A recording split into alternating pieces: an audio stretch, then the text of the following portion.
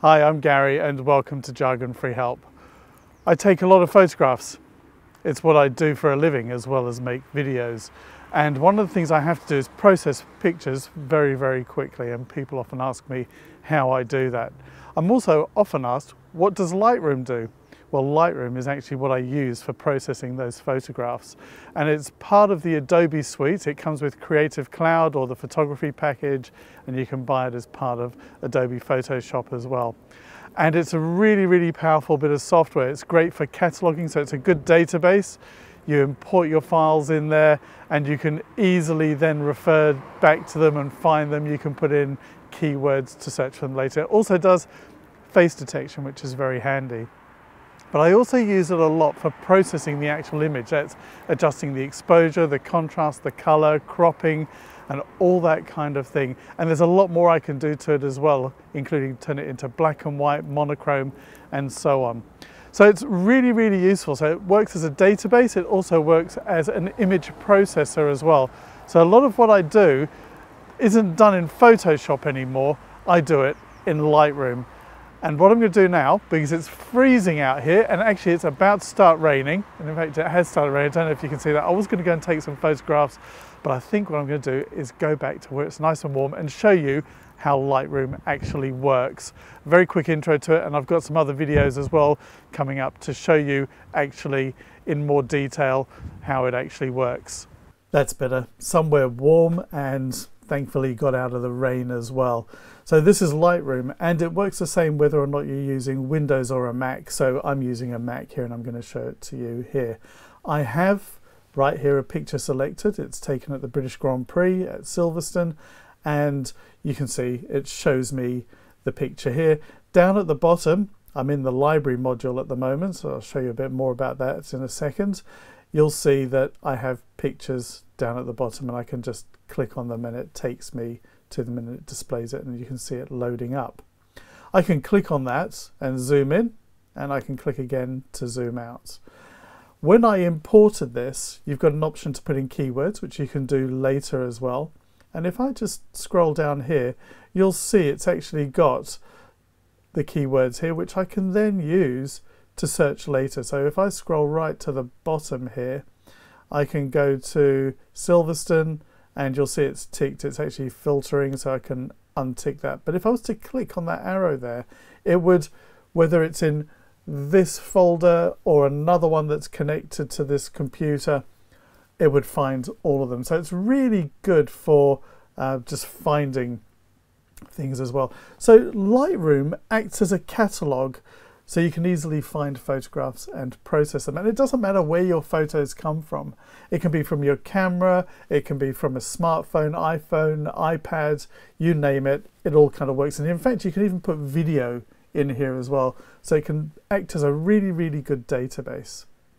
So what you'll see is down on the left-hand side here, I've got catalogs, I've got folders. These are the, the hard drives where I've got those and you can see these are folders that I've created and there's quite a few and you can see I've also got different hard drives here and I could select one of those and find pictures in there as well.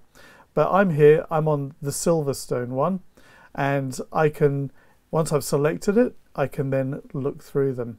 I've got different views here so I can go to the loupe view which allows me to see them like this and I can then quickly go through. I can change the thumbnail size so I can see more of them and you can see they're kind of loading as I go. You can do things like rate them as well, which you can do in camera as well. So this is one of the ways that I go through and quickly choose pictures. Um, and what I do is by pressing any of the numbers between 0 and 5 allows me to rate them. So if I just press 3, you'll see over here it's made it three star. Press two, it's two star, press zero, it basically gets rid of the rating. Double clicking on the picture allows me to see a bigger version of it, which is, can be more helpful. And again, I can press the rating. So if I press three, you'll see down here, it has now rated it and I'm going to get rid of that. Good thing is, is then I can go and look for all the rated photographs. So down here in the bottom right hand corner, I can go and look at rated and it will filter to show me only those pictures that I've selected that I think are worthwhile having a look at. Yeah, maybe. Maybe not the greatest one I've ever taken. But the great thing is, is that I can go and make changes to these. So if I'm looking at this, what I can do is go over here to where it says library. And you see at the top here, you've got your modules. You've got library, develop, map, book, slideshow, print, and web. They all do different things, obviously. Develop is where you would change the exposure and changes. And if I click on that, you'll see that the panels on the left-hand side and right-hand side change. So we're going to take a look at how to make some of those changes in a moment. If I click on the map, if there is any GPS information in here, it will show me where it, those photos were taken and how many. I can then click on that to filter those down. I can create a book which I can send off to be printed by clicking on here and it will give me templates and I can drag things in there to make it work. You can see it's loading so it's taking a little bit of time to do that. And there you go. So I could create a book. You see it's actually actually picked up some images from a graduation that I took photographs at. Over here you've got a slideshow so you can actually create a slideshow, you can actually turn it into a video as well. Print allows you to make posters and all sorts of things with different layouts. So that's quite useful. You could choose to have have many pictures across and down and so on. And you've got the web module as well for outputting to the web so you can create web pages there. But what I really wanted to show you is give you an overview of what this does. So if I go back to develop, which is where I do tend to spend a lot of time. I'm just going to scroll up on the uh, right hand side here. So I've got my develop modules and you'll see that on the side here I've actually got presets. So I can go for black and white and you can see as I'm moving over you can see a preview of it in the top left hand corner. Can you see that? And if I move over kind of gives me an idea of what I want. Now as I said when I make changes to these it doesn't affect the original picture. But what I'm going to do, I'm just going to right click and create a virtual copy. So what that does is it makes another copy without really creating a whole brand new picture which would take up a lot of space on your hard drive. Now if I make any changes to that, I can click on it and see what it looks like. Okay, I might want to crop that, so we're going to take a look at that in a second, but you've got all these different tones, sepia and so on down the side here. And there's loads of them. You've got the bleach bypass, cross process, you know, you can have a lot of fun with it. So I can even add it, make it heavy grain there. I'm going to go back to that black and white.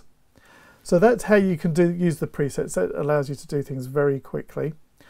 On the right hand side here, this is where I can make changes to exposure and crop and all that kind of thing. So to crop it, I just click on this button here. And then what I do is I click and drag and then I can move this picture around to fit inside the box. Press enter and that's done. I could fiddle around a bit more to make sure that I've got, you know, crop it nicely, get better composition and so on. On the right hand side, I'm going to show you very quickly here on this black and white one, but I'm going to go back to the color one in a moment. You can see you've got the color temperature, that's the temperature that the camera thought of the light around it. But down here you can change the exposure. So if something's a bit too bright or a bit too dark, you can fiddle around, you can change the contrast, you can be very clever and change things such as the highlights, so it's only adjusting the exposure there.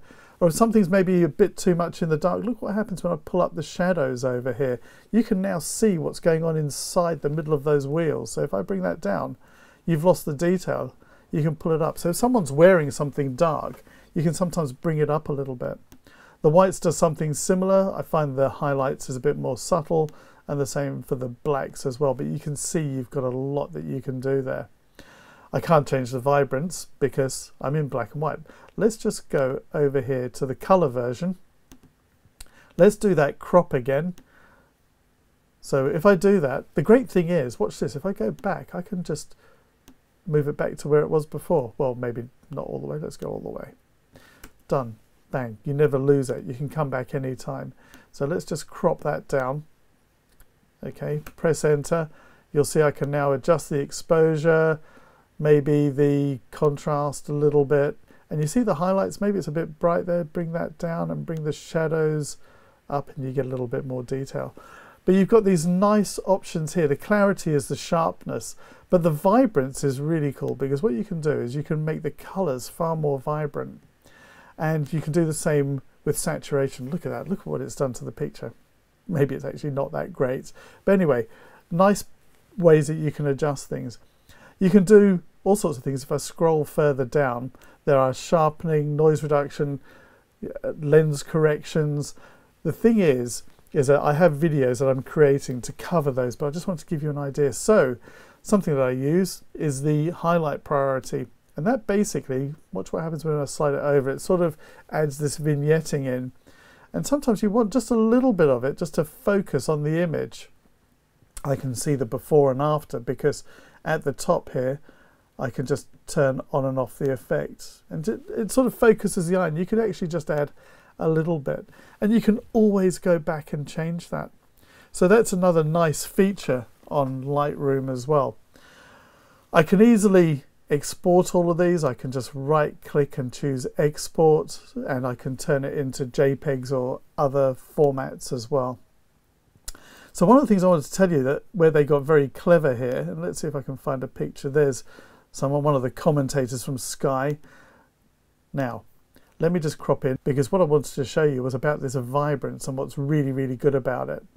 Watch what happens with the saturation. When I do that, look at the skin tones. It's changing the skin tones of all the people in there.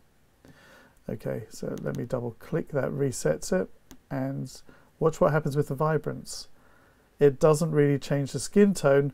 Well, when I drag it all the way across, it's having some effect. But look at that, it's doing that without really affecting the skin tone. You don't ever really want to mess around with skin tones too much. So it allows you to do that. So this is a really neat sort of package for doing all these things. I'm going to take the uh, rating off. I'm going to take the filters off because I want to find a photo like this one. Wow, look at that. The exposure is like way off. Okay, I was taking lots of pictures and whatever, but what happens if I drop down the exposure a bit? Hey, that's really recovering the picture there. There's Jenson Button. I could just crop that in a bit because maybe all we want is him in there. Let's do that. And again, if I was to play with the vibrance, look what happens. I want to do a bit more to that. Let me create a virtual copy, right click. Let's see what that would look like in black and white. Hmm, maybe not great. Okay, what about antique? So there you go, that's Lightroom, and that is some of the things that you can do with it in terms of doing your cataloging, and also this is how you can also go and make adjustments to it and you never lose the original data. That's a really important thing with this. So whatever it is, you'll always be able to come back and find your photos. I always say, make sure you've got duplicates of your photos. So I've put all of mine on a hard drive, but I do have another hard drive that has stored uh, duplicates of all of this. Photographs are important, you don't want to lose them. But by using Lightroom, you can export them and if you've got a mobile phone such as an Android or an iPhone or an iPad or some other Android tablet, you also have got Lightroom Mobile. So if you're using the Creative Cloud or you've got the photography package, so you've got an online account, you can synchronize it with that account so it appears on those devices and you can make changes on those devices which are then reflected over here. By the way, the other useful thing here is I can actually see what my exposure and everything is up in the top uh, right hand corner. So I can see the ISO, the lens and so on. And right down at the bottom if I'm on the library let me go right down the bottom you can see all sorts of information. So you can actually filter here. I could click on that speed rating and it will now filter my photographs to show me everything that I've got on that hard drive that uses that ISO so I might be looking for something and thinking I took it with that camera, I used a particular lens, and you could use that. So that's a little bit of a quick overview of how Lightroom works and I would strongly recommend if you're into photography to use this. It does face detection as well. You can see that there's a face detection option here. It's called people. It will go through and it will find people in there and you can tell them who it is and then it makes searching for those people really easy as well.